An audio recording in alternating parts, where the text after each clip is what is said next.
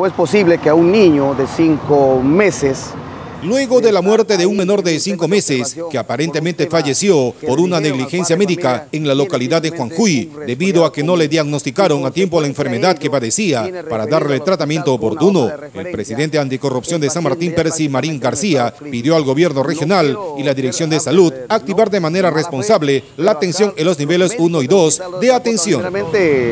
quiero hacer una denuncia pública en, en la cual nuestros hospitales, nivel prácticamente 1, 2, vayamos el tema de Juan Juy, eh, llama la atención poderosamente porque ¿cómo es posible que a un niño de 5 meses de estar ahí en un tema de observación por un tema que le dijeron al padre de familia, tiene simplemente un resfriado común y consecuencia a ello viene referido al hospital con una hoja de referencia, el paciente ya prácticamente en un estado crítico. No quiero ser ah, no, de mala fe, pero acá los médicos del Hospital de Trapoto han hecho todo lo posible para que ese niño puedan salvarlo. Hoy día acaba de fallecer el niño después de haber luchado mucho tiempo. Es más, coordinando con la doctora. Jacqueline Castañeda del Hospital 22 Tarapoto, refirió de que pacientes asegurados, cuando hay en el almacén del hospital para poder dárselo al asegurado, bienvenido.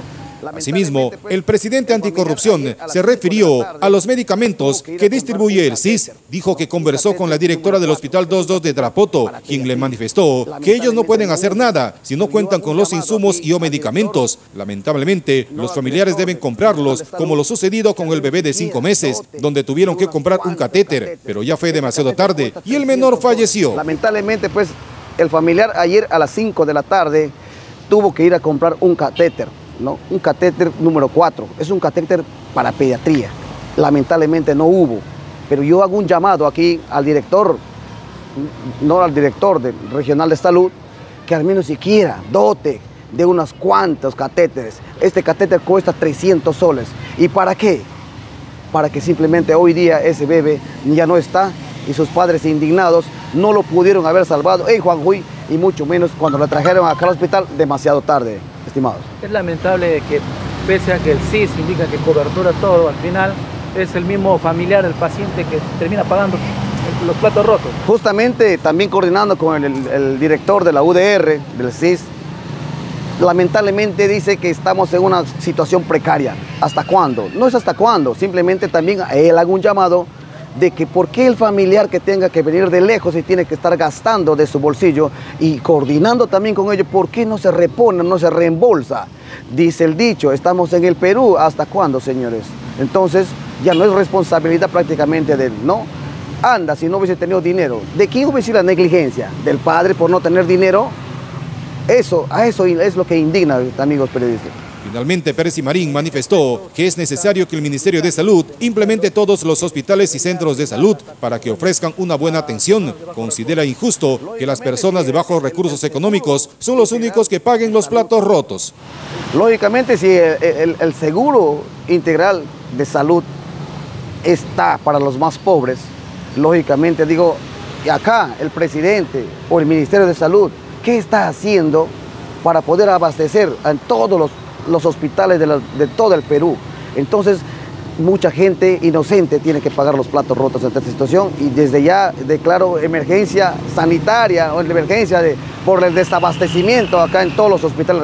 Doctor Bogarín, usted que es médico, una vez más, lamentablemente ya se va pero no, no nos deje pues, en una situación tan caótica y por qué tantos infantes tienen que estar muriendo. Siempre ha pasado esto, Percy, o sea, siempre se dan estos casos en los hospitales, el desabastecimiento, siempre se ha escuchado esto, pero nunca se da una solución ya continua, ¿no? Lógicamente se supone que hay recursos, millones de soles para el, el que menos tiene, pero lamentablemente pues todos los hospitales están desabastecidos.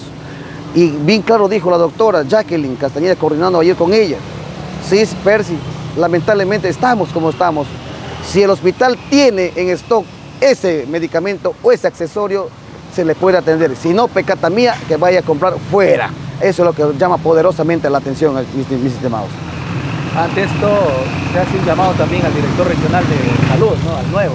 Sí, al doctor Sergio Moreno, que por favor eh, dicen los profesionales coordinando con el, ¿no?